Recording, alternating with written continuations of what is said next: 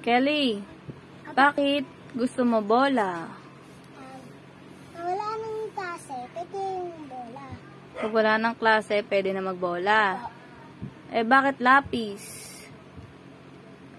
Kasi, ito, ano Kasi- nang klase? Oh, sulat. susulat na pag may klase na. Opo. Ano pang gusto mo? Um, Tingin ka kay Mimi.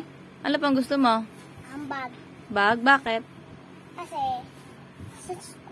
Sa school, damit bag. gamit bag. Ano pa? Saka, ano, saka, Ano? ang tain.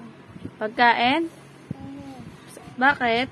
Kasi, school, ano din, ano, dadon. May tinda doon? Opo. Bibili ka? Opo. Ano pa? Um, wala na. Nana.